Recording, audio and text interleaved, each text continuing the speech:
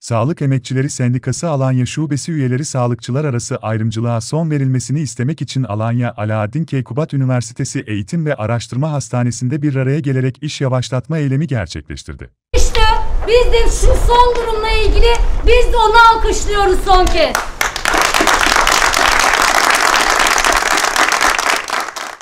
Sağlık Emekçileri Sendikası Alanya Şubesi üyeleri sadece hekimlere yönelik yapılan düzenlemelerin çalışma barışını bozduğunu belirtti.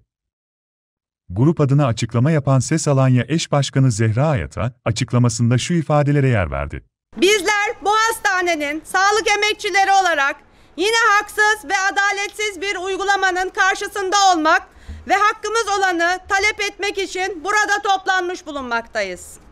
Hepimizin yakından takip ettiği gibi Sağlık Bakanı tarafından bütün sağlık çalışanlarına müjde diye sunulan ancak sadece hekimlere yönelik yapılan düzenleme ile hekim dışı sa- sağlık emekçileri yok sayılarak ekip ruhu bozulmuş, iş barışımız sekteye uğratılmıştır. Yapılan bu düzenleme ile ilgili kanun teklifinin Türkiye Büyük Millet Meclisi'nde kabul edilmesi rakamlardan bağımsız 39 branşta hizmet veren sağlık emekçisini devre dışı bırakmış, aradaki rakamsal uçurumu iyice derinleştirmiştir.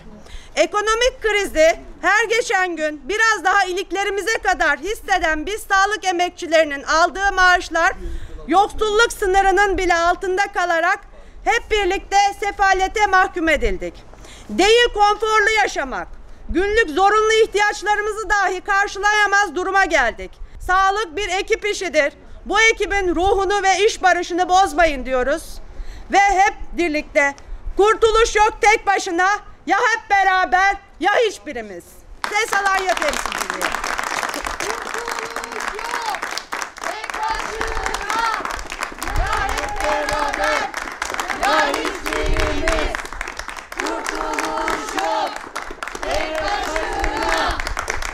Hep